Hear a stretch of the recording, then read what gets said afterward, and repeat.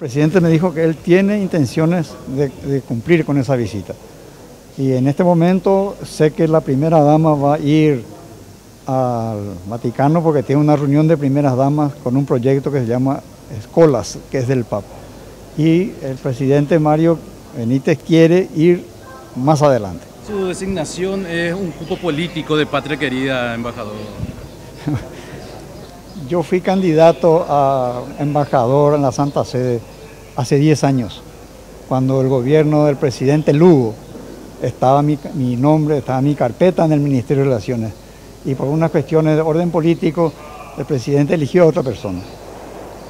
Entonces no podemos decir que sea de Patria Querida. Yo soy fundador del Partido Patria Querida, pero en este caso... Eh, mi,